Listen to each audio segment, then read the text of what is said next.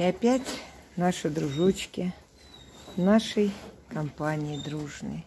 Мирно посапывают, все лежат по местам. Но это только те собачки, которые находятся в помещении, которым не хватило места в вольере. Но я думаю, что им счастливы они здесь в помещении, потому что тепло, сухо.